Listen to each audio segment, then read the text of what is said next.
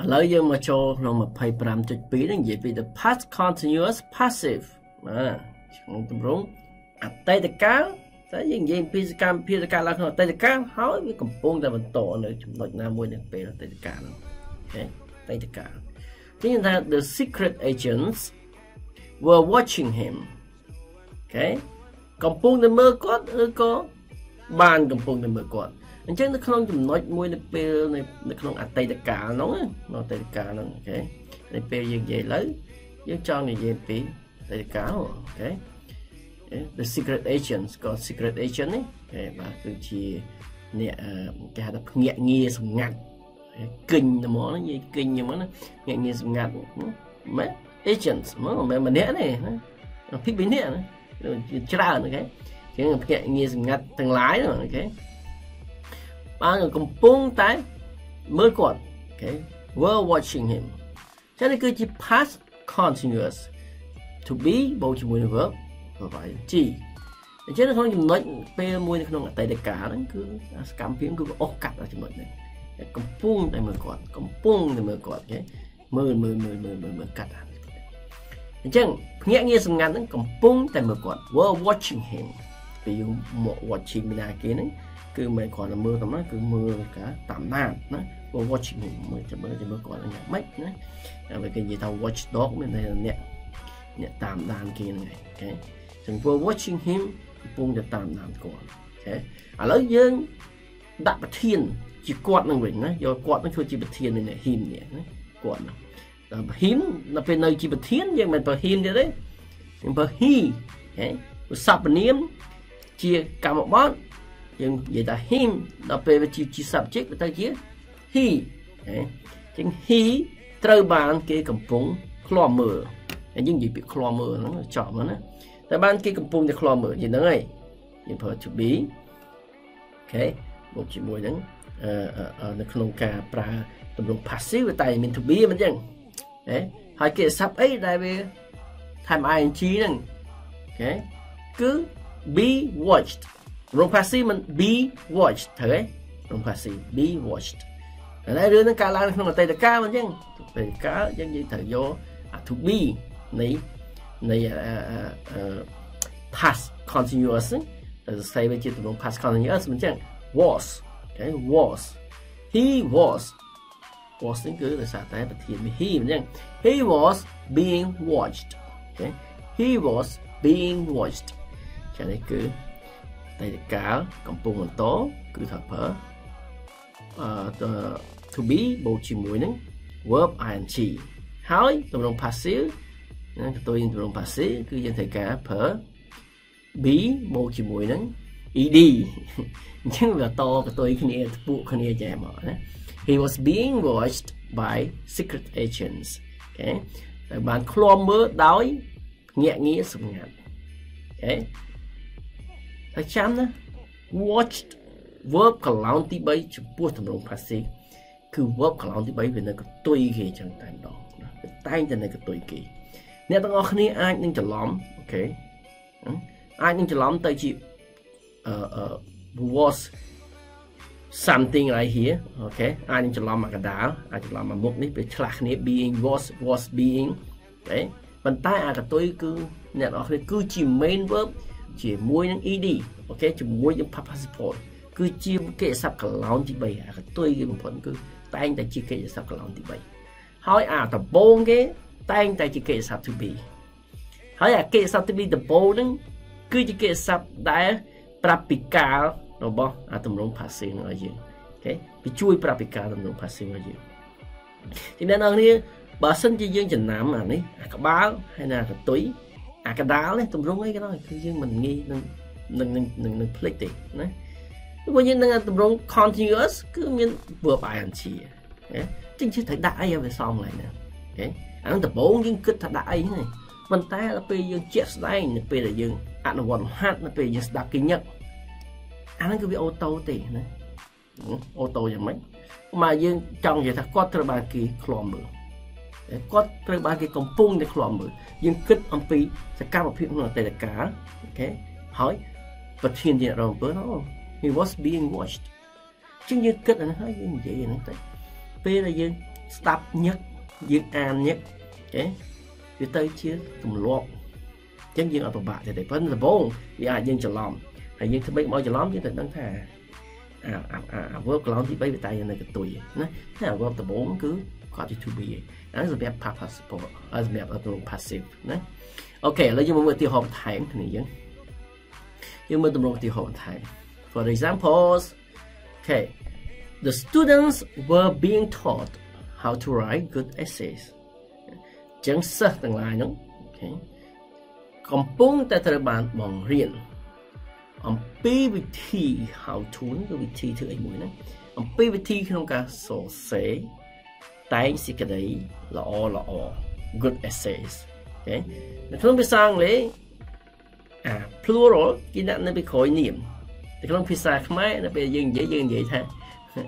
តែងតែងសេចក្តីតែងសេចក្តីល្អយើងនិយាយថាតែងសេចក្តីល្អល្អណាមកថាមកទៅពីរដងណាគុណនាទៅវិញអូ ខេអញ្ចឹងសិស្សទាំងឡាយនោះកំពុងតែត្រូវបានគេបង្រៀនពីវិធី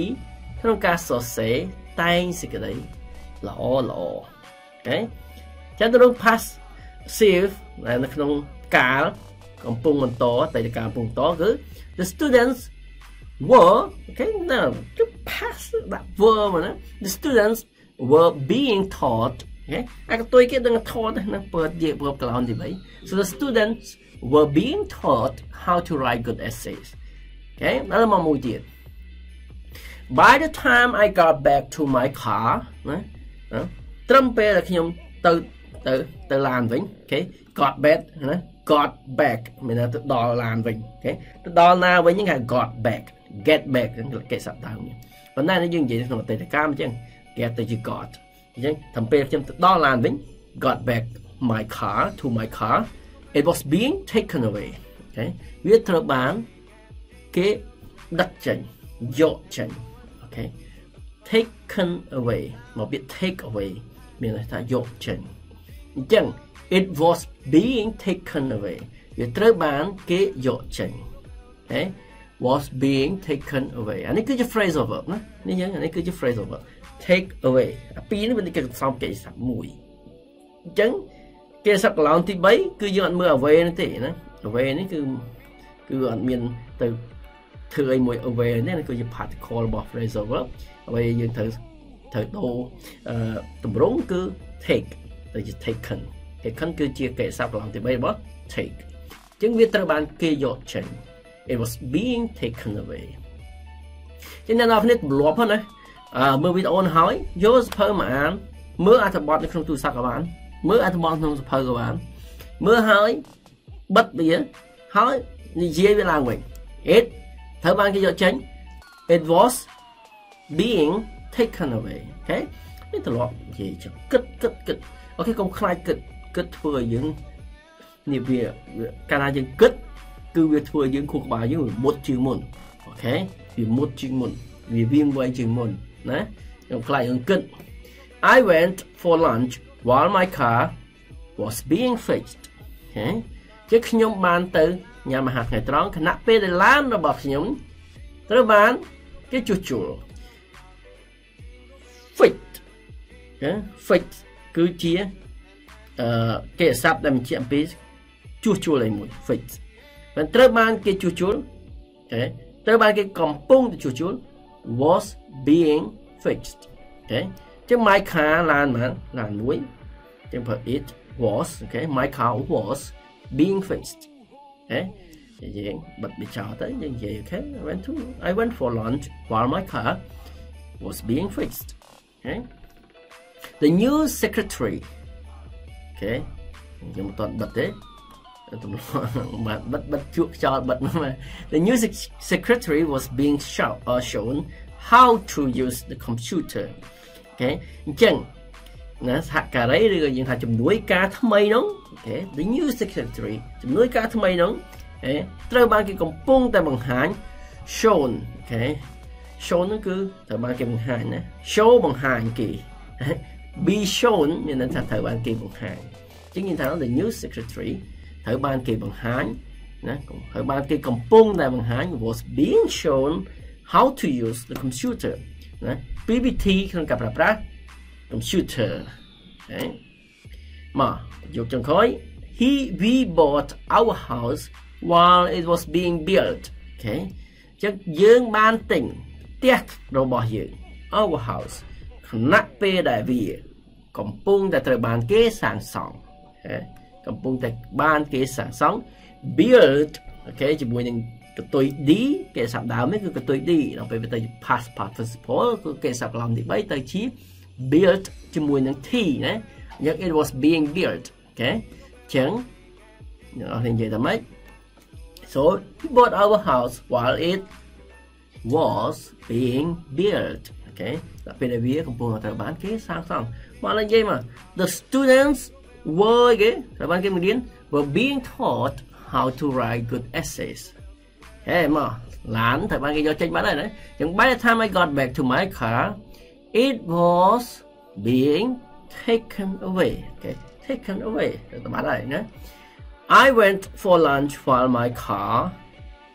ពងទៅជួសជុលពងទៅបានគេជួស while my car was being fixed okay fixed okay ed ទៅ fixed the new secretary កំពុងត្រូវបានគេបង្ហាញអំពីវិធីក្នុងការប្រើប្រាស់ computer the new secretary was being shown how to use the computer okay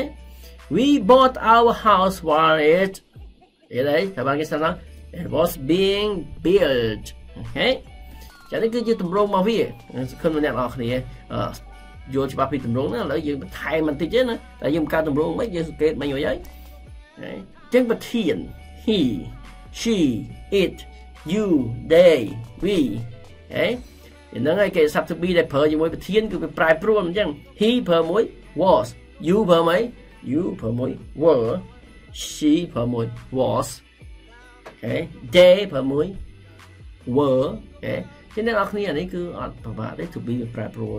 ទៅតាមប្រធានហើយកាលនេះគឺ past tense របស់វាណាចឹង he was being គេចឹងប្រើ being watched ណានេះគឺគេសាប់កន្លងទី3ចា៎គឺជាទម្រង់របស់វាគឺ he was being watched by secret agents ដោយភ្នាក់ងារសម្ងាត់អូខេចា៎អ្នកនរគ្នានេះគឺជាទម្រង់ past continuous ក្នុងទម្រង់ passive អូខេចឹង was being watched អូខេ past tense របស់ to be បូក being បូកជាមួយនឹង verb កន្លងទី3យើងជួបគ្នាវីដេអូក្រោយទៀត